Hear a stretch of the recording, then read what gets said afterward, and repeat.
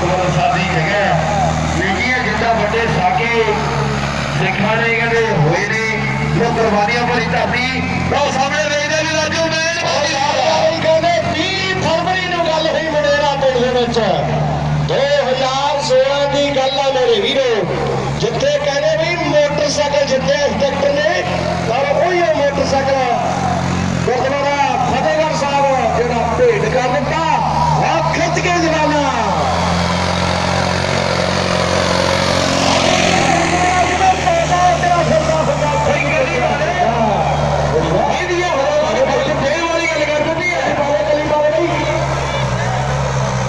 Malwa express ਦੀ ਤਰ੍ਹਾਂ ਤੁਹਾਡੇ free ਬੈਠਾ ਹੈ। ਸਵੇਗ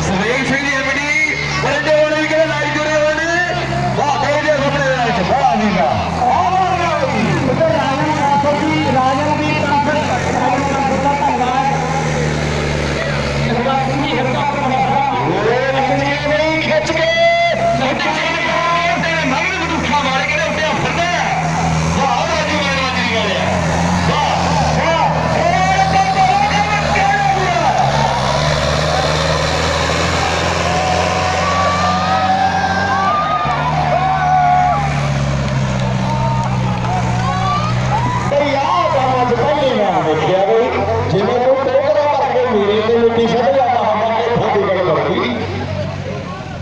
ਬਈ ਸਲਾਟਾ ਦਾ ਕਿਉਂ ਸਾਰਿਆ ਕਿਆ ਸਾਰਾ ਸਲਾਟਾ ਬਈ ਸਲਾਟਾ ਸਾਰੇ ਪ੍ਰੀਤ ਕਰਦੇ ਸਾਰੇ ਟਾਈਮ ਸੁਣਨ ਲਈ ਪਾਵਲੇ ਆ। ਇੱਕ ਮਿੰਟ। 33 ਸੈਕਿੰਡ 97 ਕੋਡ ਬਈ 1 ਮਿੰਟ 37 ਸੈਕਿੰਡ 97 ਪੁਆਇੰਟ 30 ਸੈਕਿੰਡ 97